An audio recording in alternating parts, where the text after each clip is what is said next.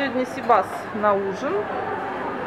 Сибас, форель на пару. И что еще? Окунь. А, ну тоже окунь гриль. А здесь салатик вкусный. А там он еще курица гриль готовится.